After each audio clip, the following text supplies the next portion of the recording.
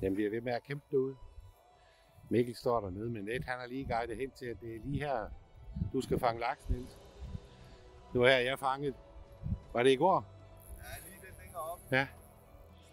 Det er her stedet er, så... Øh, og så mødes vi lige i går aftes, og så... Ja, så er de sgu så flinke at sige, vi viser lige, hvor I skal fange laks i morgen. Og vi har været her en halv time. Og så er der laks på. Det er fantastisk.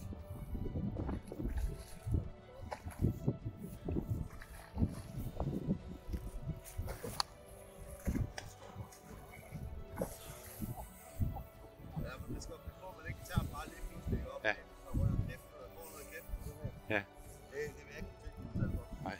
Så Jeg tager, jeg tager den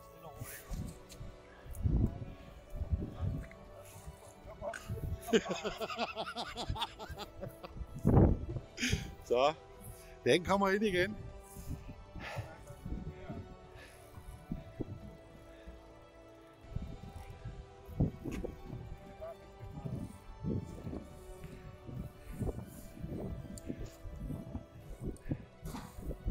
Ja, virkelig en flot fisk.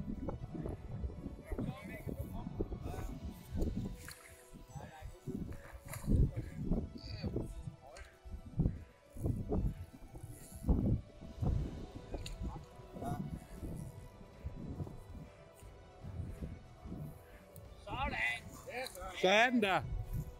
Der, der. Ja.